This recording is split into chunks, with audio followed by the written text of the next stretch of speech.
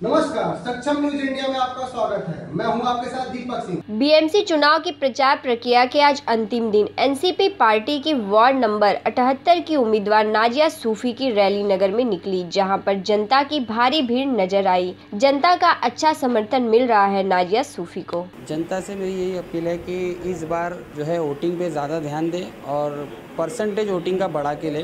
पावती वगैरह जो भी है हम लोग उसके लिए लैपटॉप का इंतज़ाम किए हैं। चिट्ठी वगैरह किसी को नहीं मिली तो वो हमारे ऑफ़िस पे पे आके कलेक्ट करें। हमारी निशानी राष्ट्रवादी पार्टी की तरफ़ से हमको जो निशानी है, घड़ी, आप लोग आठ नंबर बटन दबाइए और सिर्फ़ इंतज़ार किए, तेईस तारीख का, फिर इंशाल्लाह आप लोग और हम लोग सब साथ मिल के काम करेंगे।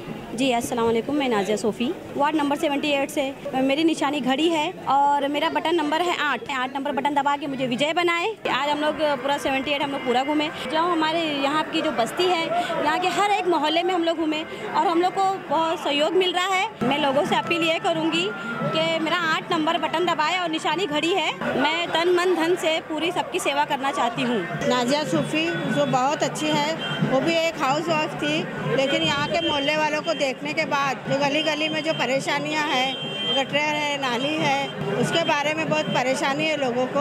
आगे फिर एजुकेशन है, जो भी है, उसके बारे में हम लोग सब मिलकर उसके सपोर्ट करेंगे। और उसको कामयाब बनाएँगे मला ती पोरगी चांगली लागली म्हणून मी त्या सांगती काम करतोय. आणि एवढं पण पब्लिक आहे हे पैसा कोण काम करत नाही फ्रीमध्ये काम करत नाही.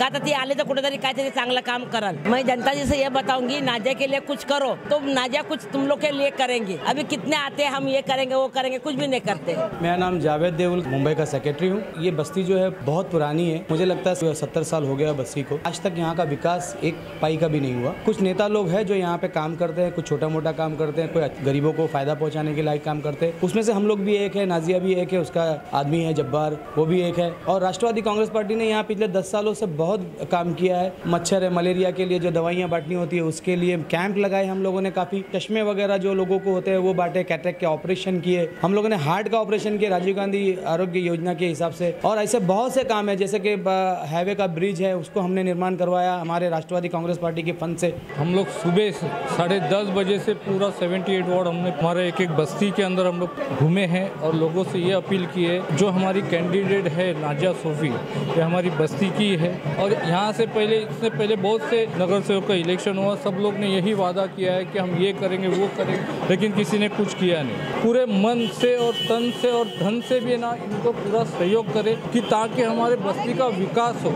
जो मूलभूत, जो सुविधा होती है, लोगों की जो, जैसे कि बाथरूम की है, गटर की है, कुछ नहीं होता है, उस पर हम लोग पूरा फोकस करके उनसे वो पूरा काम करा के लेंगे।